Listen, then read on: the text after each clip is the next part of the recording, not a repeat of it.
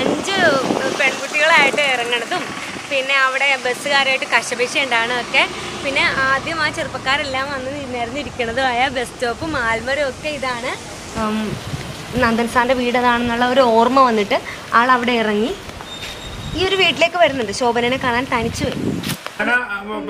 Hitler വരുന്നുണ്ട് ഞങ്ങൾ ബൈക്കിൽ കയറി ബൈക്കിൽ പോകുന്നുണ്ട്. ആ കയറി പോകുന്നുണ്ട് ആ അപ്പം hi welcome back to channel it's me Eliza അനിയ വാച്ചിങ് സീരിത്ത് എലിസ അപ്പോൾ ഹിറ്റ്ലറിൽ വീട് അന്വേഷിച്ച് കൊടുക്കാൻ അങ്ങോട്ട് ഒരു രണ്ട് മൂന്ന് ദിവസമായി ഇതാണ് അതാണ് എന്നൊക്കെ പറഞ്ഞ് ഓരോരുത്തർ പറഞ്ഞു പറഞ്ഞ അവസാനം നമ്മൾ ഇവിടെ എത്തി.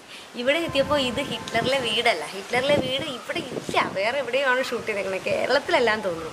അപ്പം ഇതെന്തായാലും നമ്മുടെ ഇതുമായിരുന്നു മഴയത്ത് മുൻപേ മമ്മൂക്കേന്റെ മഴയത്ത് മുൻപേ എന്ന് പറയണ അടിപൊളി മൂവി അപ്പോൾ ആ മഴയത്ത് മുൻപേ ഷൂട്ട് ചെയ്ത വീടാണ് പിന്നെ നമുക്ക് അതിന് ശേഷം ഇവിടെ ഹിറ്റ്ലറിലെ ഷൂട്ടിങ്ങിന് വന്നിട്ടുണ്ട്. അതായിരിക്കും ചിലപ്പോൾ ഈ വീടാണ് ഹിറ്റ്ലറിലെ വീടായിട്ട് ഷൂട്ട് ചെയ്യുന്നൊക്കെ എല്ലാവരും പറയണം കേട്ടോ. അപ്പോൾ വിശേഷങ്ങളിലേക്കൊക്കെ പോണതിന് മുമ്പ് ചാനൽ ആദ്യമായിട്ട് വന്നിരിക്കുന്നവർ സബ് ചെയ്യാനായിട്ട് മറക്കണ്ട. പിന്നെ മഴയത്ത് മുൻപേ മൂവിയിൽ നമ്മുടെ ശോഭന ചേച്ചീന്റെയും ശങ്കരാജ് സാറിന്റെയൊക്കെ വീടായിട്ട് ചിത്രീകരിച്ചതാണ് ഈ ഒരു വീട്.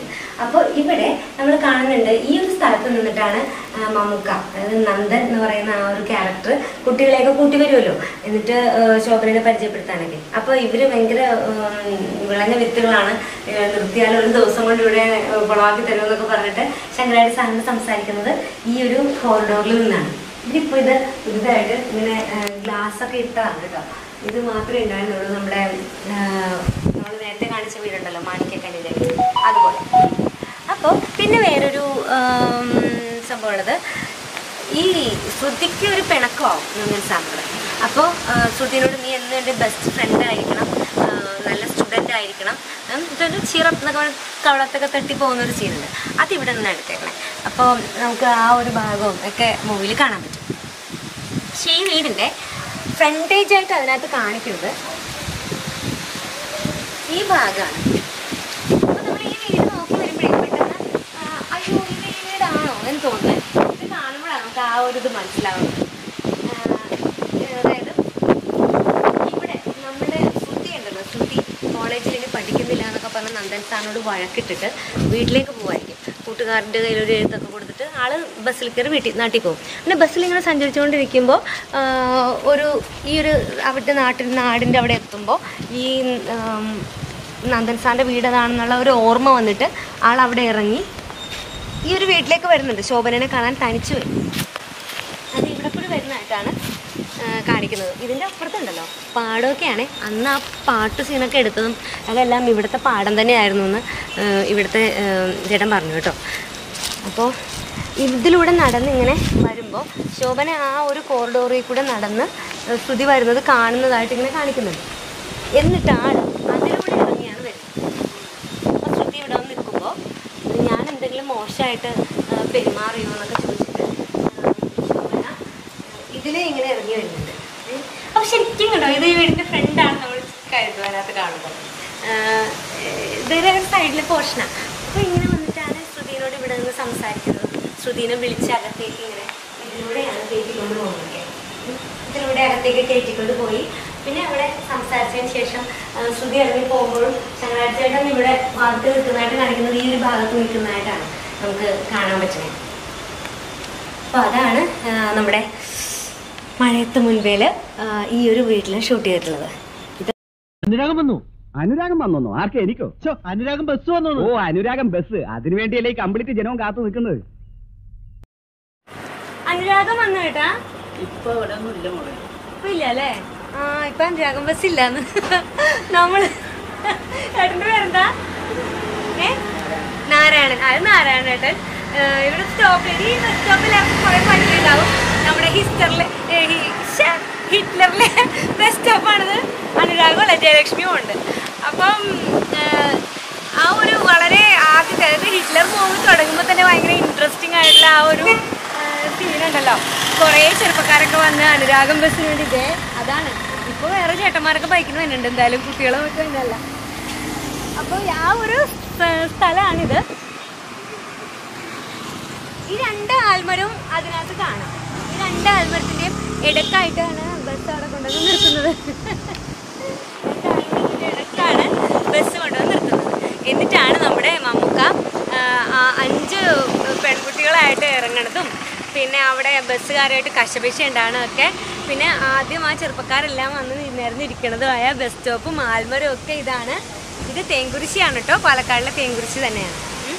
കുറേ മൂവീസ് എടുത്തിട്ടുണ്ട് ഇവിടെ. അതായത് ബസ് കണ്ടക്ടർ പിന്നെയും ഒടിയനിലൊക്കെ ഏതോ ഭാഗവും ഇവിടെ ചിത്രീകരിച്ചിട്ടുണ്ട്. ഏതാണെന്ന് നമ്മുടെ നമ്മൾ കണ്ട പറഞ്ഞു പറഞ്ഞുതരാൻ അറിയില്ല അപ്പോൾ ഇതാണ് ആ, ഹിറ്റ്ലറിലെ അനുരാഗ ബസ് വന്ന് നിന്ന പ്രശസ്തമായ ബസ് സ്റ്റോപ്പ്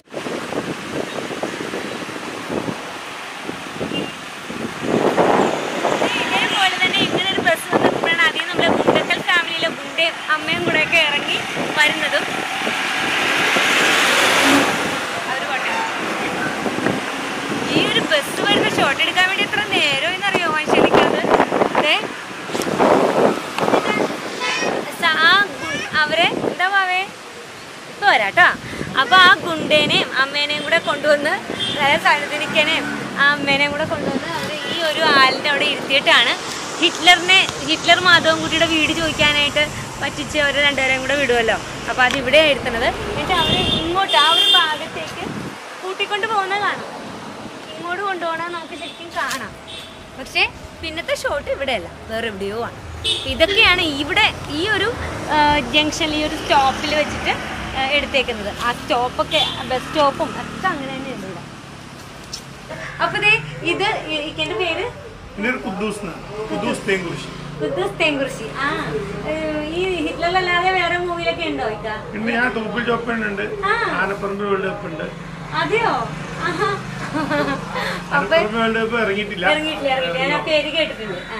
അത് ആരാണ് അതിനകത്തുള്ളത്? പെപ്പെ, ആ ഞങ്ങൾ വീട്ടിൽ പോയിരുന്നു പെപ്പന്റെ. അപ്പോഴാണ് ഇതിന്റെ എന്തോ ഒരു കാര്യത്തിന് വേണ്ടി ആളെ പോയേക്കുവാണെന്ന് പറഞ്ഞു ഈ പേര് ഞാൻ കേട്ടിട്ടുണ്ട് അമ്മ പറഞ്ഞു പെപ്പന്റെ. അപ്പൊ ഹിറ്റ്ലറിൽ ഏത് വേഷമായിരുന്നു? ഹിറ്റ്ലറ് ഞങ്ങളുടെ അഞ്ച് മറ്റേ പെ- പെങ്ങന്മാരനെ ചെയ്തപ്പോൾ ഞാനും മുകേഷ് ആ. ഉം, ആ, മച്ചാൻ വർഗീസ് മച്ചാൻ വർഗീസ്. ആ, ഗ- അങ്ങനെ ആ ഞങ്ങൾ ഗ്യാങ്ങിൽ. ആ, അഞ്ച് പേര്. അഞ്ചു പേരായിരുന്നു അല്ലേ? കണ്ടോ? നമ്മൾ ബസ് സ്റ്റോപ്പ് ഉണ്ടല്ലേ? വായി നോക്കികളെ ഇരുന്നിരുന്ന ബസ് സ്റ്റോപ്പ് ആ കൂട്ടത്തിലുണ്ടായിരുന്നു ആൾ. ഞാൻ പറയുന്നത് ഹിറ്റ്ലർ വരുന്നുണ്ട് പറഞ്ഞ് ഞങ്ങൾ ബൈക്കിൽ കയറി ബൈക്കിൽ പോകുന്നുണ്ട്. ആ അപ്പൊ നമുക്ക് ഭാഗ്യം ഉണ്ടായി ലാലിന്റെ വന്നിട്ട് സംസാരിക്കുന്ന. അവർ അടികൂടുന്നത് ഒഴിവാക്കി ആ അപ്പൊ സീനിലൊക്കെ ഇക്കുണ്ട് കബഡിയൊക്കെ കളിക്കുന്ന സമയത്ത് കളി ഫൈറ്റ് സീനൊക്കെ ഉണ്ടായിരുന്നു. പിന്നെ സുന്ദരിമാരെ കെട്ടിപ്പൂട്ടിയ ആ ഡാൻസ് ഒക്കെ ഉണ്ടായിരുന്നു. അതിനകത്തൊക്കെ ഉണ്ട്. അതാ അതിലാണോ ആദ്യമായിട്ട് അഭിനയിച്ചത്? അല്ല ഞാൻ ഇത് ആക്ച്വലി ഞാൻ നേരത്തെ കമൽഖാന്റെ കൂടെ അസോസിയേറ്റ് ആയിട്ട് അസിസ്റ്റന്റ് ആയി പോകാൻ വേണ്ടിയിട്ട് ദിലീപ് പോയിരുന്നാണ് ആ സമയത്ത് അപ്പൊ അപ്പോൾ ആ സമയത്ത് നമ്മൾ പിന്നെ സിനിമന്റെ അഭിനയത്തിലേക്ക് കിടന്നു. കുറച്ച് ചെറിയ ചെറിയ റോളൊക്കെ അതിൽ ചെയ്തു ഭൂമികത്തിൽ ചെയ്തിരുന്നു. ഭൂമികത്തിൽ മറ്റേ അതിലൊരു സി ഐ ആയിട്ട് ചെയ്തിരുന്നു. അങ്ങനെയാണ് അഭിനയത്തിലേക്ക് വന്നത്. പിന്നെ അഭിനയം ഇഷ്ടമായി ഇനിയും അപ്പൊ സിനിമകൾ വന്നാൽ ഇക്ക പോവും. ആ സിനിമ നല്ലതൊക്കെ വരുമ്പോൾ വരുമ്പോ പോവും അല്ലേ? ഇത് പുതിയതാ?